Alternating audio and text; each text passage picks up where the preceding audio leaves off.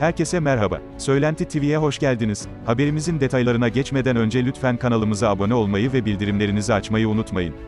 Hakkı Bulut, hem müziğini izinsiz kullanan hem de telefonlara çıkmayan Reymen'e dava açıyor.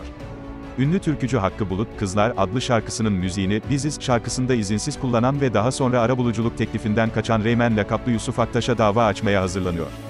Ünlü türkücü Hakkı Bulut ve Reymen lakaplı sosyal medya fenomeni Yusuf Aktaş arasındaki telif olayı mahkemeye taşınıyor. Bulut, şarkısındaki müziği izinsiz olarak kullanan Yusuf Aktaş'a dava açacak. Akşamda yer alan habere göre Hakkı Bulut, MESAM Bilim Teknik Kurulu'nun şarkının benzerliğini onayladığı belgeyi de paylaştı. Bulut'un paylaştığı belgelerde de yer alan bilgiye göre, MESAM Bilim Teknik Kurulu bu süreçte şarkının müziğinin aynı olduğunu onayladı.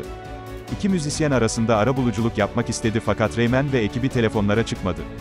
Hakkı Bulut da defalarca kez Reymen ve ekibine ulaşmak istedi fakat her seferinde, kusura bakmayın biz size en kısa zamanda döneceğiz, şeklinde cevap aldı. Bu durum karşısında dava açmaktan başka çaresi kalmadığını belirten sanatçı yaşanan süreci, düşüncelerini ve açacağı davayı anlattı. Bir sonraki videoda görüşmek üzere. Hoşçakalın.